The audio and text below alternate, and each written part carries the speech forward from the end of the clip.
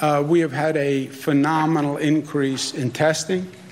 We've been able to use our laboratories. Uh, our emergency management team has done a very good job of reaching out to our state labs, getting them on track, getting them coordinated.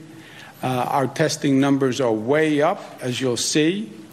Uh, next week, uh, by the end of this week, we think we're going to be up to about 7,000 tests per day, which is an exponential increase of what we have done.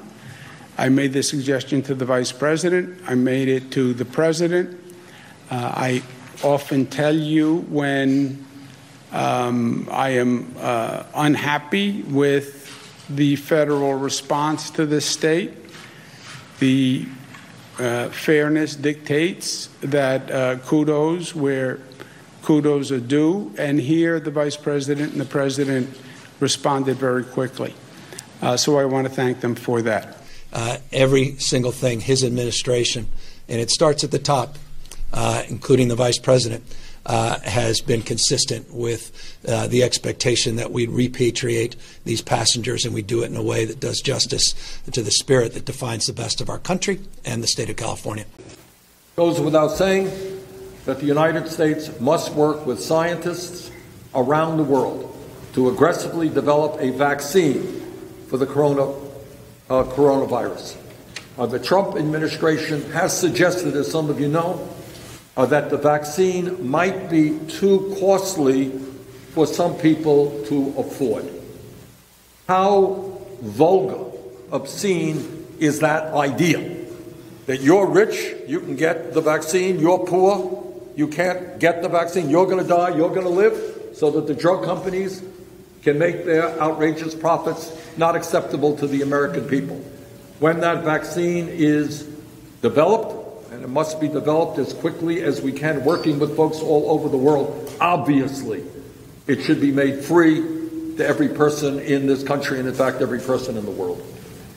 Over the past couple of days, President Trump has said that he would prefer if none of the passengers aboard these cruises landed on U.S. soil. Did he mention any of that to you in your conversation? Yeah, we had a we had a private conversation, but he said we're going to do the right thing, and you have my support, uh, all of our support, uh, logistically and otherwise.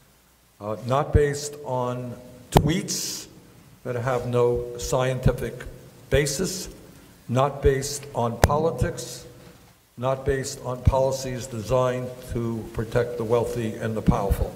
So I, before he made those statements publicly, I had a private conversation with him around 4:30 uh, West Coast time, uh, and he said everything uh, that I could have hoped for. Uh, and we had a very long conversation, uh, and every single thing he said, they followed through on.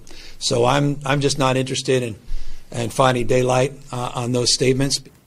At a time when half of the people in this country live paycheck to paycheck and when people go to work every single day, even when they are sick, because they need an income to take care of their families, the United States remains the only major country on earth not to guarantee paid sick leave and paid family leave. Now, that is absurd in a general sense, but it is particularly dangerous given the moment we are at right now. Right now.